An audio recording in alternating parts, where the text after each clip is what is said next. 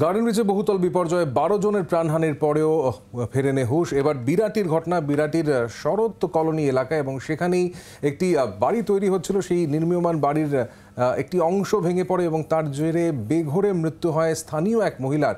কার্যত পাশেই ওই মহিলার বাড়ি বলে জানতে পারা যাচ্ছে এবং তিনি কথা বলার জন্য ফোন ফোনে কথা বলার জন্য বাইরে বেরিয়ে এসেছিলেন এবং তখনই আচমকা হুড়মুড়িয়ে রাত আটটা নাগাদ এই ঘটনা ঘটে। হুড়মুড়িয়ে ভেঙে পড়ে বেশ কিছু ইটের অংশ এবং যেগুলো তার মাথায় পড়ার ফলে মৃত্যু হয়, তার নাম কেয়া শর্মা চৌধুরী বলে জানতে পারা যাচ্ছে। প্রশ্ন উঠছে, সরু গলির মধ্যে কীভাবে এই পাঁচতলা বহুতল তৈরি ছাড়পত্র মিলল?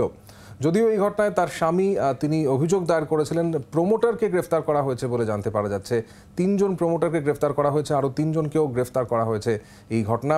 স্থানীয় বাসিন্দারা অভিযোগ করছেন যে একাধিক বেনিয়ম হয়েছে এই বাড়িটি তৈরির ক্ষেত্রে।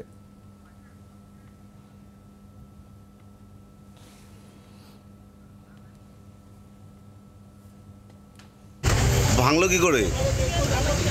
কি করে ভাঙলো নিচে রান্না রান্না করছিলে তোমরা দিকে সিমেন্ট ভালো দেওয়া হয়নি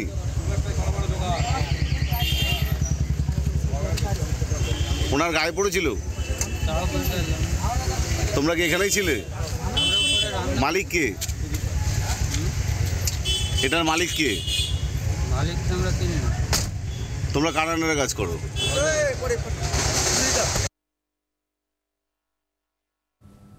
কামনা করি না কেউই কামনা করি না আজকাল পেপার পত্রিকা নিউজ খুললেই দেখা যাচ্ছে এই ধরনের অবৈধ ইমারত যার কারণে বিভিন্ন রকম দুর্ঘটনা ঘটে যাচ্ছে। আমরা অহরহ দেখছি চোখের সামনে এই যে কত বড় দুর্ঘটনা ঘটে গেল একটা। তবুও হ্যাঁ গার্ডেন দিছে তবুও লোকের মানে বিবেক বুদ্ধি উদয় হচ্ছে না। অবৈধ নির্মাণ হচ্ছে আর এভাবে দুর্ঘটনা ঘটছে। আমরা চাই না যে এই ধরনের দুর্ঘটনা ঘটুক। বিল্ডিংটা অনেকটা অনেক, অনেকটা হেলে আছে। আতঙ্কের মধ্যে আমাদের এলাকাবাসী সবাই থাকে আমরা। দেখুন, সাত ফুট রাস্তার উপর ইল্লিগাল কনস্ট্রাকশন তো হয় না। কোনোভাবে যে কেউ যেভাবে হোক এটা হয়েছে এবং সেটা ইল্লিগাল অবশ্যই ইল্লিগাল এর প্রতিবাদ হওয়া উচিত। অবশ্যই প্রতিবাদ হওয়া উচিত। আমি আমি প্রশাসনের কাছে অনুরোধ করব, প্রশাসন যেন দ্রুত কড়া পদক্ষেপ নেন, সংশ্লিষ্ট প্রমোটার এবং তার সাঙ্গপাঙ্গদের যেন অবিলম্বে সাজা হয়। হচ্ছে না, কি বলব আমরা? বুঝতেই তো পারছি। মানুষটা আমাদের চলে গেল। এই তো ছেলে আর এই তো ভাই, এই তো ছেলের এই বয়স। আমরা চাইছি ওদের শাস্তি হোক। ওরা ওরা এতবার বলেছে প্রোটেকশন দিয়ে কাজ করতে। কেউ করেনি কেউ করেনি। প্রত্যেকে ইট, বালি, জল সব পড়ে ওদের এখানে। ওরা কন্টিনিউয়াস বলে গেছে, কিন্তু শোনেনি। দিয়ে দেবো দিয়ে দেবো বলেছে।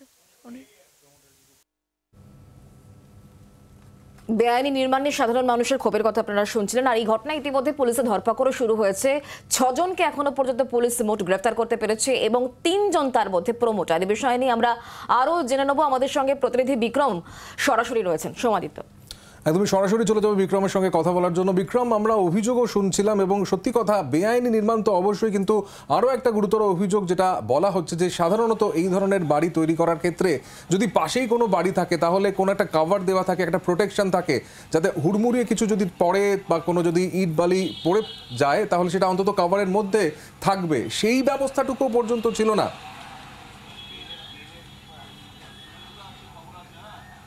দেখো, তোমাকে এই মুহূর্তে সবথেকে সবার আগে আপডেট খবরটি জানিয়ে রাখব যে, ছজনকে প্রথমে আটক করা হয়েছিল, যার মধ্যে চারজনকে ইতিমধ্যেই গ্রেফতার করা হয়েছে। তার মধ্যে তিনজন হলো প্রোমোটার যেই প্রমোটাররা মূলত এই নির্মাণ কাজের সঙ্গে যুক্ত ছিলেন এবং তার সঙ্গে সঙ্গে একজন লেবার ইনচার্জ তাকেও গ্রেফতার করা হয়েছে এবং দুজন লেবারকে এই মুহূর্তে আটক করা হয়েছে। এর পাশাপাশি যেটা তোমাকে জানাব যে আমরা স্থানীয় কাউন্সিলর মহুয়া শীল তার সঙ্গে যোগাযোগ করেছিলাম টেলিফোনে এবং তিনি যেটা জানাচ্ছেন যে এই বিল্ডিংটি কিন্তু সম্পূর্ণভাবে অথরাইজ অর্থাৎ স্যাংশন প্ল্যান নিয়েই এই নির্মাণ কাজ করা হচ্ছিল, এমনটাই স্থানীয় কাউন্সিলর তিনি কিন্তু ফোনে দাবি করলেন। এবং তার পাশাপাশি তোমাকে যেটা জানাব যে গতকাল যে ঘটনা ঘটলো, অর্থাৎ রাত্রি তখন আটটা একেবারে এই ঘটনাস্থলের ছবি দেখাবো। তার ঠিক পাশেই তুমি যে বাড়িটি দেখতে পাচ্ছ, সেখানেই কিন্তু কেয়া শর্মা চৌধুরী তিনি বসবাস করতেন। পঞ্চাশ ঊর্ধ্বের কেয়া দেবী তিনি গতকাল রাত্রি আটটার সময় তার বাড়ির সামনের যে জায়গাটি, সেখানেই তিনি তার এক আত্মীয়ের সঙ্গে মোবাইল ফোনে কথা বলছিলেন। আচমকাই যে নির্মীয়মান বহুতলটি আমরা দেখতে পাচ্ছি, তার একেবারে যে ওপরের অংশ ছাদের অংশ, সেখান থেকে যে ফেন্সিংয়ের জায়গাটি রয়েছে, সেই অংশটি ভেঙে পড়ে এবং অন্তত পঁচিশ থেকে তিরিশটি এই ধরনের ইট তা কিন্তু সরাসরি এই জায়গায় এসে পড়ে, যার ফলে মৃত্যু হয় কেয়া দেবীর। তারপরেই ঘটনাস্থলে এসে পৌঁছায় পুরো আধিকারিকরা এবং তার সঙ্গে সঙ্গে পুলিশ আধিকারিকরা। ইতিমধ্যেই পুলিশের তরফ থেকে তদন্ত শুরু করা হয়েছে এবং অনিচ্ছাকৃত খুনের অভিযোগে ইতিমধ্যেই মামলা রুজু করে পুলিশ চারজনকে গ্রেফতার করেছে এবং দুজনকে আটক করেছে। এমনটাই আমরা জানতে পারছি, যার মধ্যে তিনজন প্রমোটারকে গ্রেফতার করা হয়েছে। এর পাশাপাশি যেটা জানিয়ে রাখব যে এইখানে যে নির্মাণ কাজ চলছিল, সেই নির্মাণ কাজ নিয়ে কিন্তু একাধিকবার অভিযোগ করেছিল এই পরিবার, এমনটাই পরিবারের সদস্যদের তরফ থেকে জানানো হচ্ছিল।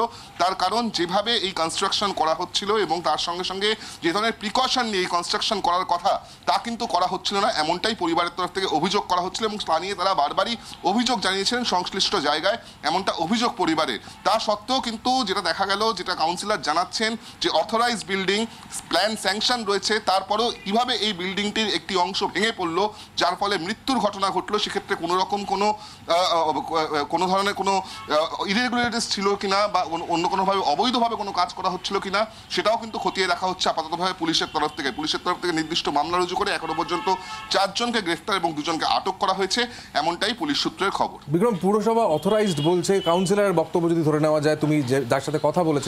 কিন্তু যেভাবে দেখা যাচ্ছে, সামনে কি সেই ততটা চওড়া রাস্তা রয়েছে? যা যা প্রয়োজনীয় জিনিস প্রয়োজন, এরকম একটা জি জি প্লাস ফোর বাড়ি বা জি প্লাস ফাইভ বাড়ি তৈরি করার ক্ষেত্রে, সেই শর্তগুলো কি আদৌ সেখানে পূরণ হচ্ছে? তুমি যেখানে রয়েছো, সেখান থেকে দেখে কি মনে হচ্ছে?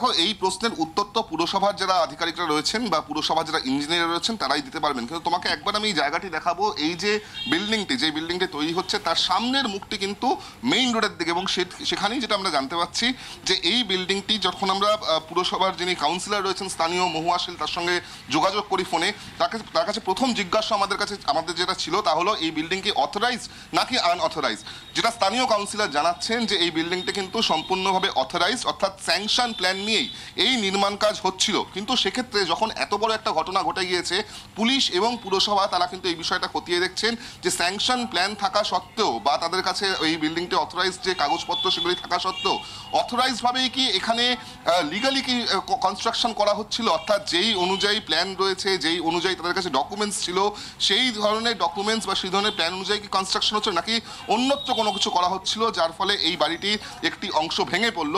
সেটাই কিন্তু এই মুহূর্তে তদন্ত করে দেখা হচ্ছে। যেটা আমরা দেখতে পেলাম কিছুক্ষণ আগেই যে পুলিশের একটি দল, তারা কিন্তু এসে এই গোটা যে বিল্ডিংটি, সেই বিল্ডিংটি মাপঝোপ করছেন, খতিয়ে দেখছেন। এর পাশাপাশি পুরসভার যারা আধিকারিকরা রয়েছেন, তারাও কিন্তু খতিয়ে দেখছেন যে ঠিক কীভাবে এই বিল্ডিংটি নির্মাণ করা হচ্ছিল। বৈধ কাগজপত্র ছিল, এটা ঠিক।